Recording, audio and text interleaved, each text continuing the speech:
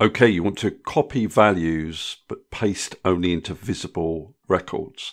Now I'm going to show you how to do this where the data is all in the same table and you're going to copy from one column to another and then I'll show you how to copy values that exist outside of the original table. Okay, let's start with copying within the table.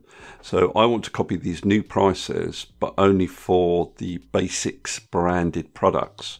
So I'm going to filter this list for those products.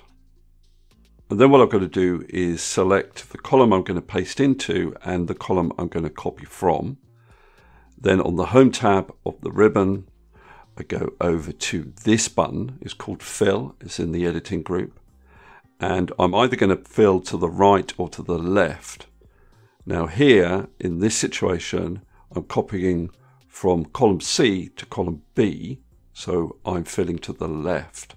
So I choose this option here and it pastes those values into the correct row. Now I'll just undo that and get rid of the filter. Now this method that I've just shown you only works if the data you're copying exists within the table. If the data is outside the table, you've got to use this second method. So your first step would be to filter the records. So I'm doing it again for the basics products.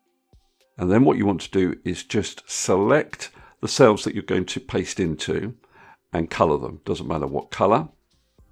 Then get rid of your filter.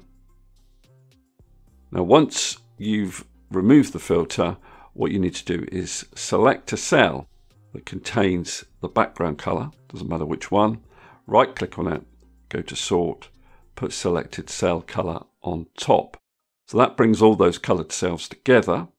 Then what you can do is just select the cells you want to copy, Control C to copy, click into the first colored cell and press enter to paste. And that'll paste those values over the colored cells. Okay, that's all I wanted to cover in this particular video. Hopefully that's useful. If it is, please give me a thumbs up and subscribe, and I'll see you next video.